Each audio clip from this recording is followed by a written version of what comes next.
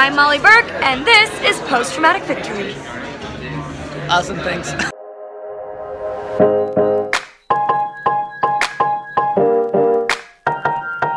Hello, welcome or welcome back. The clip that you saw before my intro is no big deal. One of my favorite YouTubers, Molly Burke. Uh, my friend Matt tracked her down at VidCon and was lovely enough to use that interaction to get her to say something to me. So that's nice. Uh, go subscribe to him and her, but mostly him because he's a hero. Anyway, moving on. Today I want to talk to you about what dissociation feels like. But first, we have to think about what is dissociation. Dissociation is known by a few different names. The most common one is depersonalization, and then there's derealization, being out of it. That's kind of what it feels like to me. Depersonalization is when you feel like you aren't in your body, like you're like you're living in a dream, I guess. You don't feel like you're connected to your body. Your body and your mind are two separate entities, I guess, is an okay way to describe it. I believe derealization is not knowing what's real. I'm gonna look that up because I don't want to lie to you.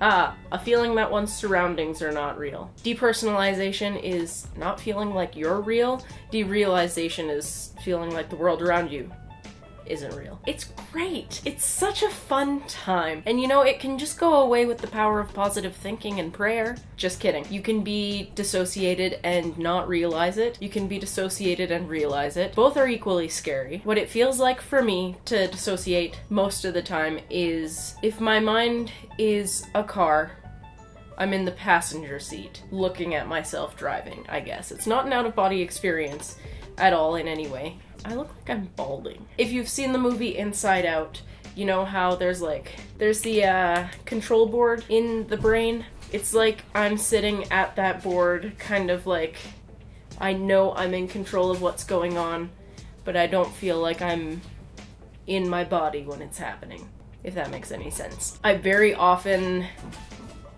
don't know what I'm saying. Sometimes I'll speak slower because it's harder to this might be a good example of it. It's harder to find my words because I'm not in there fully, if that makes sense. My mind is hovering around back here, and my body is out here. I know I'm in control of it, but I'm not really controlling a darn thing. It can make your memory spotty because it's almost like blacking out sometimes because it is a defense mechanism. If your system feels threatened, bye. if something triggers me, sometimes I will just fly out of my body, as I call it. I'll just dissociate, nope the heck out of there, be on autopilot, essentially. And you don't always remember things clearly when you're not there. I hope this makes some kind of sense. It can be scary to not remember things, um, to just have blank spots in your memory. There have been a lot of times with just harmless things like my boyfriend Luke will tell me, oh yeah, there's this movie that we watched together, and I will have zero memory of seeing that movie. I'll think I've never heard of it before. That is a simple little thing, but then there's stuff like traumatic experiences that you can uh, have pushed back in your mind that you don't remember happening. And all the knowledge and all the memory is there. You just don't have access to it because your brain decided you should duck out for a minute.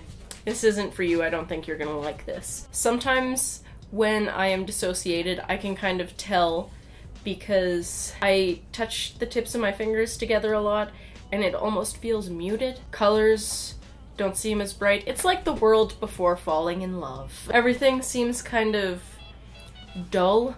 Um, when I was a kid, I was experiencing dissociation a lot, but had no idea until a couple years ago when I started therapy. The way that I would picture myself, I guess, is like a crunchy leaf or a stale piece of bread or a rusty brown van. Nothing felt vivid, just like muted and crusty, I guess. And uh, since starting therapy, I have found out that's not how it has to be. You can experience life in color, vivid color, and be fully present for it, but it's tough. Something that my service dog in training, Sadie, does for me is deep pressure therapy. So that's basically she puts herself across my legs or my chest, and that kind of tells my nervous system, like, oh, it's fine. It acts like a weighted blanket or a hug, and it is amazing. If you can get a weighted blanket, I highly recommend it. Um, I sleep under one every single night, and while it doesn't necessarily help with the nightmares, it helps to calm me enough to put me to sleep, and it mostly works. Um, unless you're like super bye out of there, um, in which case there's usually a reason why you're so far gone because it's a coping mechanism, a survival technique. Your body is trying to protect you from perceived danger. And uh, that's trauma for you.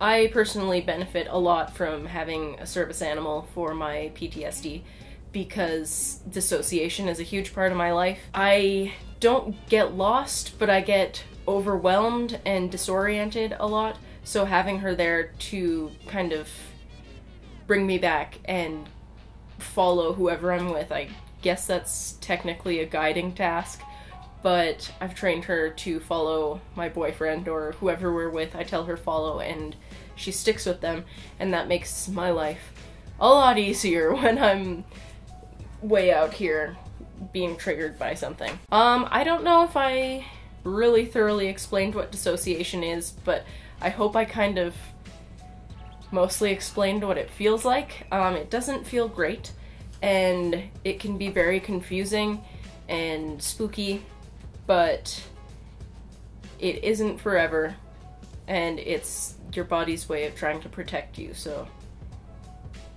that's a positive thing, I guess. If you have had any experience with dissociation, if you have any kind of dissociative disorder, let me know in the comments below. I would love to hear from you. And uh, we're all in this together.